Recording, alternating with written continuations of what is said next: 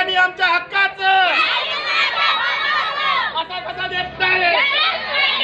असा कसा देत नाही.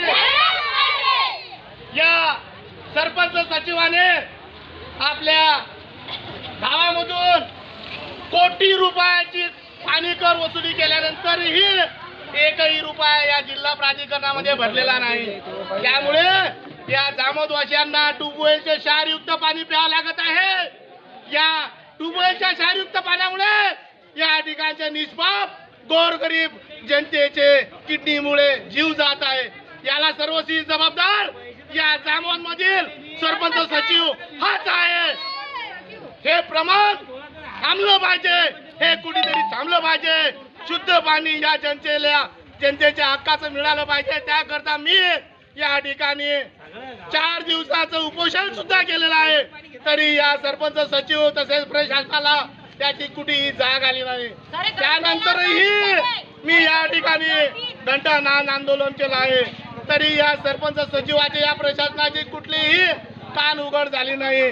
मायबापा हो! या गलतान कारभारामुळे या सरपंच सचिवाच्या निष्क्रियपणामुळे या ठिकाणी जनतेचे जीव जात आहे. या ज्या ज्या लोकांचे जीव या ठिकाणी गेले आहे त्या जनतेने त्याच्या घरच्या व्यक्तीने आपल्या नावाची कंप्लेंट आपल्या जवळच्या पोलीस स्टेशनमध्ये जाऊन या सरपंच सचिवाच्या नावाची केली पाहिजे. कारण त्याच्या घरातील मुख्य माणूस हा किडनी ग्रस्तामुळे मृत्यूमुखी पडला आहे. याला सर्वस्वी जबाबदार हा सरपंच सचिवच आहे. म्हणून या सरपंच सचिवाचा निषेध म्हणून या ठिकाणी या हजारोच्या संख्येमध्ये या ठिकाणी आपण आज डपळे आंदोलन करत आहे.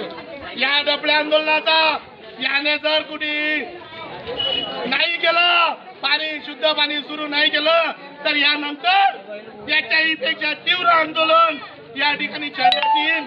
याची जाण या सरपंच सचिवाने तसेच या प्रशासनाने घेतली पाहिजे.